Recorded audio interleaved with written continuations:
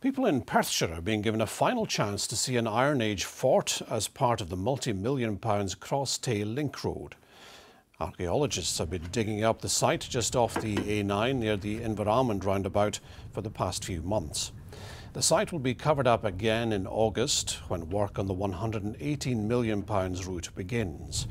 Archaeologists have been working to retrieve as much information as possible. The Iron Age uh, would have started at the end of the Bronze Age, so maybe about 4,000 years ago, up to around 2,000 years ago, we reckon the hill fort would have been in use. On top of that, we also have some earlier, possibly late Neolithic into the early Bronze Age activity on the on the south, the bottom of the south slope down over here. We've found um, pottery that um, could date back sort of earlier than the actual hill fort itself. So it's obviously been a site that's attracted people time and again over a, over a very long period of time.